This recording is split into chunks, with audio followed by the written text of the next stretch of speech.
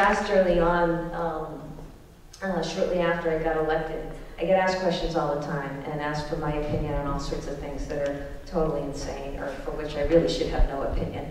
Um, one of the questions I was asked was about Deflategate. Remember Tom Brady and the, the, the, the footballs? And my response at that time was we needed to spend a lot more time, and the NFL should be spending time not on air pressure and footballs, but on the real issues of sexual assault and domestic violence so rampant in the league, right? And that resulted in a call from Robert Kraft, which has resulted in a tremendous partnership, uh, culminating in our program called Game Change, where basically we've worked with Northeastern uh, in the MVP program, um, and we have had terrific guidance from Malcolm and Mary and others here. I see Lori Hoden. Thank you so much for all that you're doing at Lincoln Sudbury. It's fantastic. Um, and, uh, and we also partnered with Jane Doe in a lot of the domestic agencies focused on combating domestic violence and sexual assault.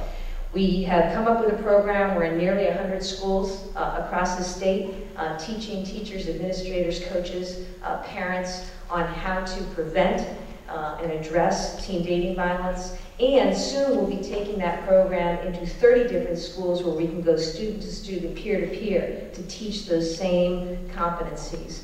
And I'm excited about this because, you know, whether it's physical violence, sexual violence, emotional violence, stalking, cyber violence, we see it uh, increasingly pervasive among, among young people. And it is all the more uh, reason why we're going to double down as an office on addressing this issue.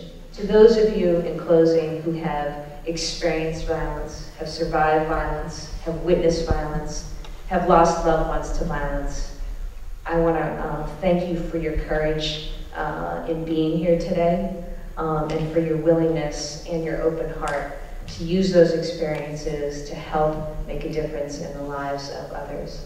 Uh, we are all eternally grateful for that.